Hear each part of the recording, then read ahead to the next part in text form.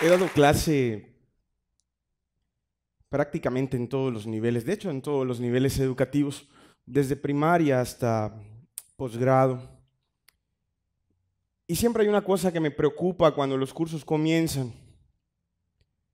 Cuando me paro frente al aula y por fin, por primera vez, miro a mis alumnos, siempre se comenta a voces el maestro está molesto.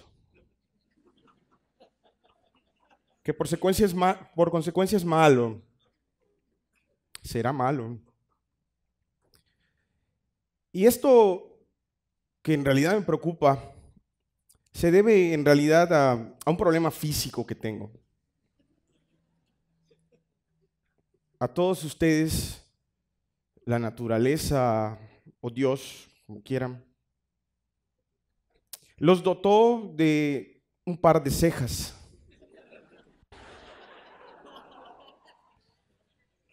A mí solo me dio una. Y entonces, ustedes cuando se molestan pueden juntar la ceja. Yo siempre la tengo así. Y les digo esto porque de lo que les voy a hablar, posiblemente a muchos no les guste mucho no va a ser un regaño, no estoy molesto, ya les expliqué el asunto. Y posiblemente no les guste mucho porque vamos a hablar de nuestro ser, vamos a hablar de nuestra ontología, del ser mexicano, del ser yucateco, pero que es un problema que se traslada a toda Latinoamérica. Yo soy historiador y mi trabajo es en realidad hurgar en el pasado, entre los documentos, entre los libros, tratando de encontrar evidencias que permitan construir una historia pues para explicarnos, para explicar la realidad que estamos viviendo. Es fascinante porque son muchísimas, muchísimas noches trasnochando, sentado frente a una computadora como si fuera una ouija, en donde puedo comunicarme con muertos. Y los muertos hablan, y los muertos se hacen presentes y nos cuentan sus historias, nos confían sus historias, y así podemos construir nuestros ayeres y darles un uso en la, en la realidad que nos toca vivir.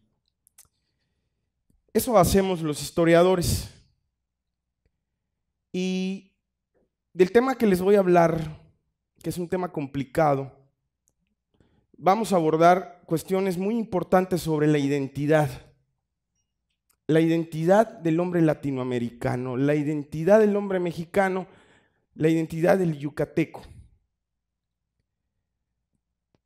No existe, no hay un grupo, sociedad, nación que pueda funcionar de manera eh, eh, que los engranes hagan perfectamente un embonamiento. No puede funcionar si no tiene una identidad bien sostenida, una eh, identidad bien basificada, una identidad que permite el arraigo para generar algo que cada vez es más difícil encontrar y que es el amor por el terruño, el amor por la patria, el amor por nuestros semejantes, por nuestros hermanos latinos, por nuestros hermanos mexicanos. No puede haber una buena cohesión y un buen funcionamiento sin la identidad. Y por eso tenemos que recurrir a la historia, porque la única manera de explicar lo que somos es mirando lo que hemos sido. No tenemos otra opción para mostrarnos en realidad en el hoy sin conjugar los verbos en pretérito. Solo así podemos en realidad llegar a entendernos. Así que como buen historiador, les voy a contar una historia, porque los historiadores contamos historias, a eso nos dedicamos. Y es una historia que ustedes conocen perfectamente bien porque la han estudiado seguramente desde la primaria. Es una historia que comienza con dos mundos. Un mundo europeo y un mundo mesoamericano. Ninguno mejor que otro. Dos mundos que simplemente tienen la circunstancia de no haberse encontrado nunca una fabulosa cultura mesoamericana, con grandísimos conocimientos, con un desarrollo espectacular, con reyes y palacios. Y un mundo europeo también, con un gran desarrollo, con reyes y palacios y con sus, eh, cada uno con sus características propias, tecnologías más, tecnologías menos. Y un día, por cuestiones del destino se encuentran. Y se encuentran en unas playas, en donde el mundo mesoamericano mira de momento venir un barco con sus grandes velas. Y sin duda queda impactado, nunca había visto algo así.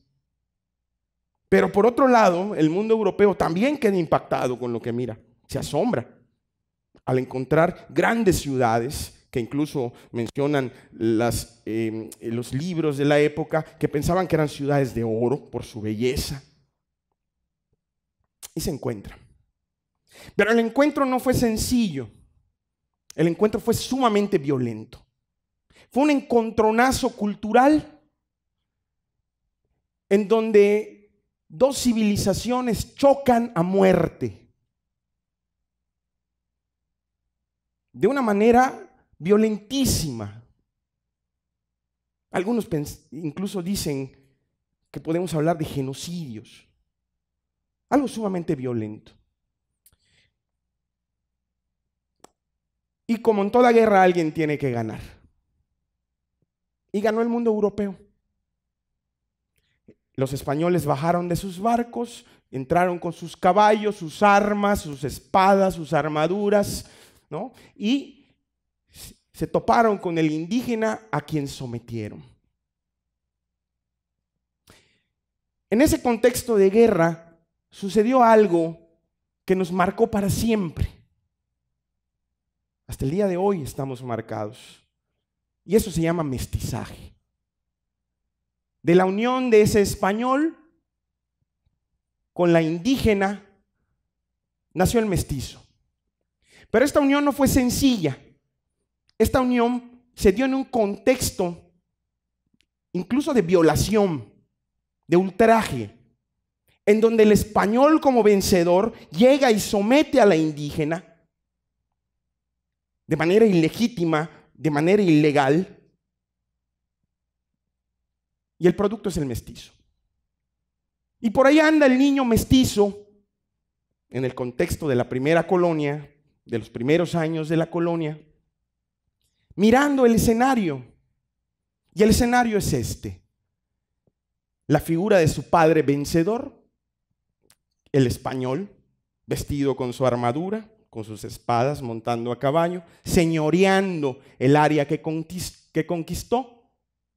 Y por el otro lado tiene a su madre, la India, la que representa el mundo que perdió, la que representa la raza sometida la que representa la esclavitud, la servidumbre. Y ese niño mestizo, por obvias razones, buscando una identidad, desde luego trata de seguir la línea de su padre. Es la raza vencedora. Y obvio, desprecia lo indígena, porque representa a la raza sometida. Quiere ser como su padre, pero desprecia a su madre indígena. Solo que hay un problema.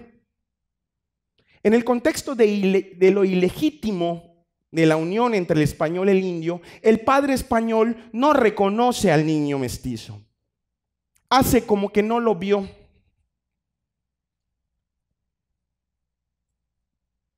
El niño atrás de él tratando de imitarlo y él desconociéndolo. Y si acaso le tira unas monedas por caridad cristiana. El niño quiere ser como su padre español y nunca, nunca va a lograr serlo. porque no se lo van a no se lo van a permitir. Las leyes, la iglesia y toda la estructura mira con malos ojos esta unión. Como resultado de esto, tenemos un mestizo que en realidad es un individuo que está frustrado.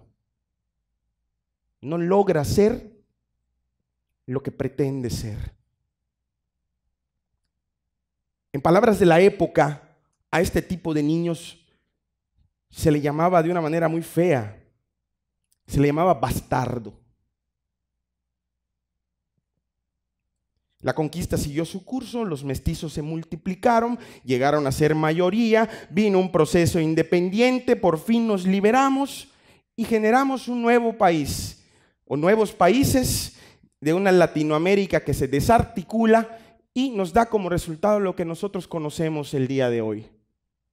Un mundo latinoamericano, iberoamericano, plagado de mestizos. Y déjenme decirles que la historia no terminó ahí. Porque aquel mestizo del que estamos hablando se encuentra hoy aquí. Y soy yo, y son la mayoría de los que están sentados en esta sala.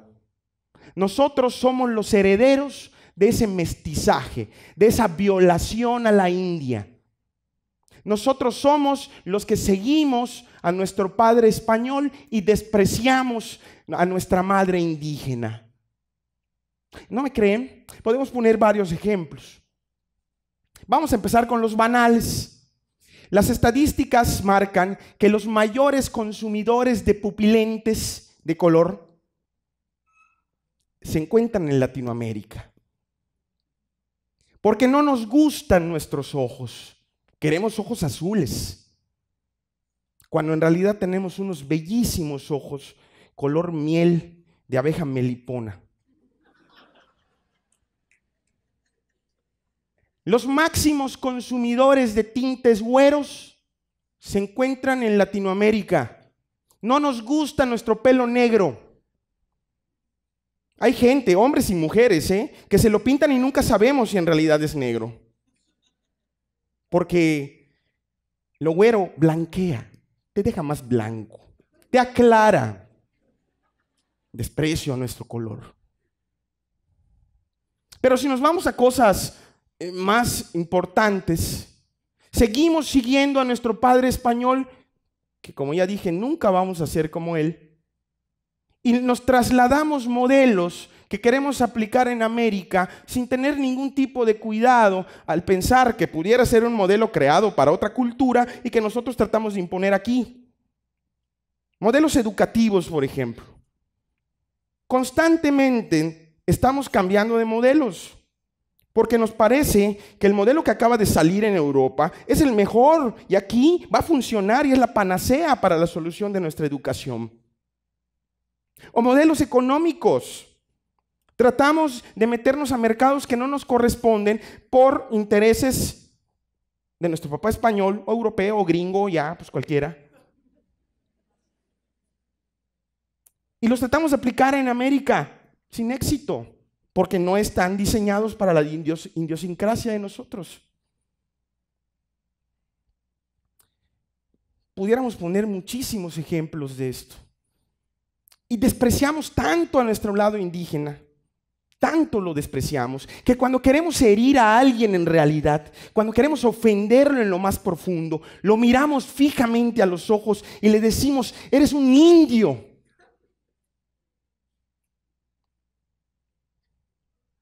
O eres un naco o eres un huiro. Seguimos despreciando a nuestra mamá indígena y queremos seguir siendo lo que nunca vamos a ser como nuestro papá español. Esa es la historia que nos toca vivir y que solamente nosotros podemos salir de ella. Los filósofos latinoamericanos, en particular Leopoldo Sea, que hace algunos años falleció, nos dejó un legado interesantísimo que pocos conocen y que debería volverse eh, masivo, que debería enseñarse en las escuelas y que todos deberían leer. Él propone que debemos llevar un proceso asuntivo para salir de los baches, de los socavones en los que nos encontramos. Este proceso asuntivo tiene múltiples eh, directrices, pero les voy a hablar de algunas. Una de ellas es que debemos ya descolonizarnos. No, la independencia no nos libró de nuestras ataduras con los países que nos sometieron y que nos siguen sometiendo. Seguimos colonizados en otro tipo de dependencias. Somos todavía dependientes de otros. Somos subdesarrollados, dicen por allá toda la teoría de la dependencia. Y para lograr descolonizarnos, lo primero que tenemos que hacer, según la filosofía latinoamericana, es mirarnos a nosotros mismos, conocernos a nosotros mismos a profundidad y reconocer que en realidad tenemos un problema, un problema histórico, un problema que no se soluciona jalando modelos de otros lados, un problema que solo se va a solucionar cuando nosotros generemos desde adentro desde nosotros mismos, desde nuestros pueblos, desde nuestras ideas, desde nuestra idiosincrasia, modelos de cambio, sin copiar nada de los demás, tratando de hallar las vías por donde salir adelante en unidad y en conjunto. La segunda cuestión es el tema de la educación. Necesitamos que todas estas ideas lleguen a nuestros niños desde pequeños. Que logren identificarse plenamente con lo que son mestizos, con toda la riqueza que lleva esto, porque no todo es malo. Somos un país altamente plural, somos un país con tradiciones fabulosas, somos un país con una diversidad de lenguas que ya quisieran muchos. La educación tiene que ser ese factor de cambio. Y nosotros los que enseñamos deberíamos hacerlo. Un tercer aspecto es amarnos. Porque parecería que no nos amamos a nosotros mismos. Amarnos como somos, con nuestro color, con nuestros ojos, con nuestro pelo. Reconocer la belleza que tenemos. Que por otro lado la reconocen nosotros no. Pudiéramos pasar aquí la tarde platicando de la propuesta del proceso asuntivo, pero creo que con estas palabras pues queda bastante claro por dónde va la temática. Yo solo quiero recordar que la unidad es lo único que nos sacará adelante de estos graves problemas que vive Latinoamérica, muy en particular en México, problemas muy dolorosos en un país ensangrentado, que a veces en Yucatán parece que se nos olvida. Solo la unidad. Y este es un sueño viejo, ¿eh? Es un sueño que viene desde los primeros pensadores después de la independencia. Simón Bolívar pensó en la gran unidad de América para formar la gran nación. No hubo tal unidad. José Vasconcelos, que seguramente muchos conocen, el gran pensador de la educación en México, pensó en un proyecto de nación en donde el mestizo, nosotros, en donde el mestizo fuera el principal protagonista en donde el mestizo tome las riendas de sus países y marche hacia la felicidad. Leopoldo Sea, José Vasconcelos, Simón Bolívar tenían ideas muy similares. Vasconcelos le dio un nombre que a mí me gusta muchísimo. Le llamó al mestizo la raza cósmica soñando que pudiera ser el individuo que genere el cambio que tanto se necesita. Y con esto quiero cerrar, invitando a que reflexionemos, que reflexionemos mucho sobre este grave problema, porque tiene que salir desde lo más profundo de nuestras sociedades, de la familia, de nuestros niños, de nuestras relaciones, de nuestros amigos. De ahí tiene que venir el cambio, no desde gobierno ni desde políticas, que son cosas que no funcionan. Desde abajo. Ahí se encuentra la base para generar todos los elementos de la identidad que necesitamos para sentirnos realmente orgullosos de ser latinoamericanos, de ser mexicanos y de ser yucatecos. Esa es la invitación con la que quiero dejarlos y pedirles que piensen siempre en que podemos sin duda cumplir el sueño de José Vasconcelos, llegar a ser la raza cósmica. Muchas gracias.